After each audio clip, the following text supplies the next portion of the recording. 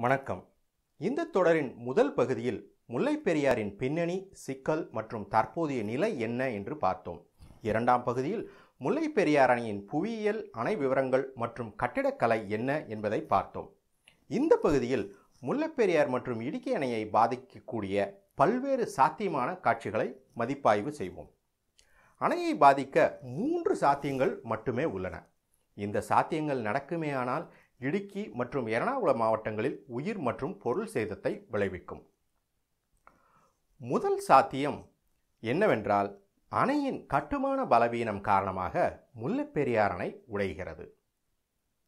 இரண்டாவது அத்தியாயத்தில் அணையை வலுப்படுத்த கடந்த இருபத்தி ஐந்து ஆண்டுகளில் மேற்கொள்ளப்பட்ட பல்வேறு நடவடிக்கைகளை நாம் பார்த்தோம்.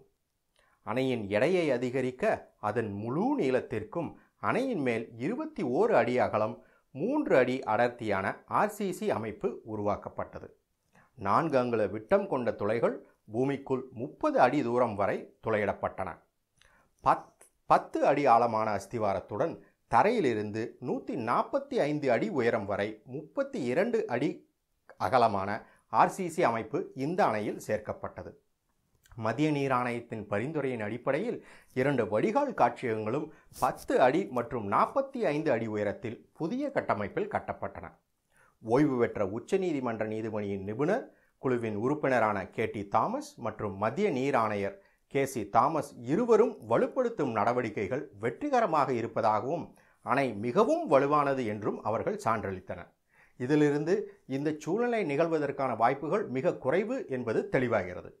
இந்த சூழ்நிலை ஏற்பட்டால் இடுக்கி அணைக்கும் இடுக்கி அணைக்கு கீழ்நிலை பாதையில் உள்ள மக்களுக்கும் அவர்களின் சொத்துக்கள் சேதத்தை ஏற்படுத்தும். முல்லைப்பெரியார் அணையிலிருந்து வரும் நீர் முப்பத்தி ஓரே நிமிடங்களில் வண்டிப்பெரியாரை அடையும் மற்றும் நூற்றி இருபத்தி எட்டு நிமிடங்களுக்குள் இடுக்கி அணையை அடையும். வண்டிப்பெரியார் மற்றும் முப்புத்தரா நகரங்களில் மக்கள் பாதிக்கப்படுவார்கள். முல்லைப்பெரியார் அணையின் ஒவ்வொரு துளியும் காலியாகி இடுக்கி அணையில் பாய்ந்தாலும் அது இடுக்கி அணையில் எந்த பாதிப்பையும் ஏற்படுத்தாது. இடுக்கி அணையை முல்லைப்பெரியார் அணையுடன் ஒப்பிடும்போது புதிய அணை. இடுக்கி அணையின் பாதுகாப்பு குறித்து இதுவரை எந்த கவலையையும் யாரும் எழுப்பவில்லை. இதனால் இடுக்கி அணை ஒரு வலுவான அணை என்றுதான் நாம் நம்ப வேண்டும். முல்லைப்பெரியார் அணையின் நீர் கொள்ளளவு நூற்றி நாற்பத்தி இரண்டு அடியில் இருக்கும் பொழுது இடுக்கி அணையின் நீர் கொள்ளளவு முல்லைப்பெரியாரை விட நான்கு மடகம் அதிகமானது. இந்த சூழ்நிலையில் சுமார் ஐம்பதாயிரம் பேர் பாதிக்கப்படுவார்கள் என்று எதிர்பார்க்கப்படுகிறது.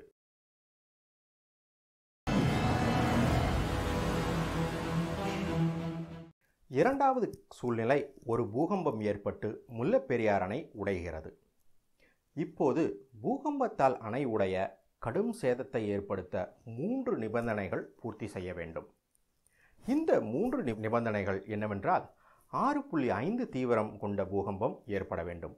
பூகம்பத்தின் மையப்பகுதி அணையின் பதினாறு கிலோமீட்டர் சுற்றளவிற்குள் இருக்க வேண்டும். நீர்த்தேக்க அளவு நூற்றி முப்பத்தி ஆறு அடி அல்லது அதற்கு மேல் இருக்க வேண்டும். முல்லைப்பெரியார் அணை மற்றும் இடுக்கி அணை ஆகிய இரண்டும் அமைந்துள்ள இடுக்கி மாவட்டத்தில் பூகம்பம் சாத்தியமா? இந்தியா ஐந்து நில அதிர்வு மண்டலங்களாக வகைப்படுத்தப்பட்டுள்ளது. மண்டலம் ஐந்தில் உள்ள பகுதிகள் மிக உயர்ந்த நில அதிர்வுகளை எதிர்பார்க்கலாம். மண்டலம் இரண்டில் உள்ள பகுதிகள் மிக குறைந்த அளவிலான நில அதிர்வுத்தன்மையை எதிர்பார்க்கலாம். இடுக்கி மாவட்டம் மண்டலம் மூன்றில் உள்ளது. பூகம்பம் ஏற்படுமேயானால் வலுவான தீவிர நில அதிர்வுகளை எதிர்பார்க்கலாம். இந்த வரைபடம் இந்தியா மற்றும் அதை சுற்றியுள்ள அனைத்து பூகம்பங்களையும் காட்டுகிறது. இந்த வரைபடத்தில் நான்குக்கு நான்கு புள்ளி ஐந்துக்கும் மேற்பட்ட தீவிரத்தை அளவிட்ட அனைத்து பூகம்பங்களையும் தெளிவாக பார்க்கலாம்.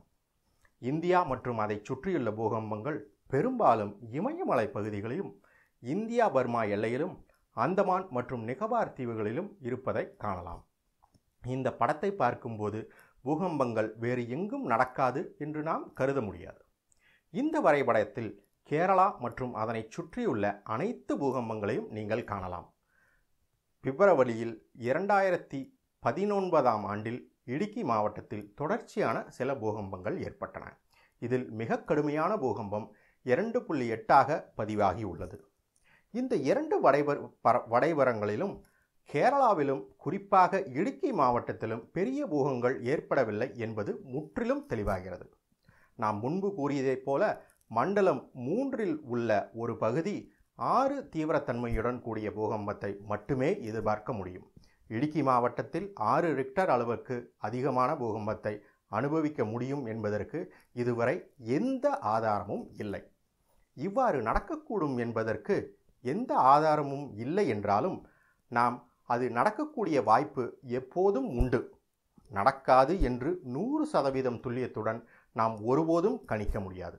இது இயற்கையின் நியதி இயற்கையின் சீற்றத்தால் இந்த சூழ்நிலை நடந்தால் அதன் தாக்கம் முதல் சூழ்நிலையைப் போலவே இருக்கும்.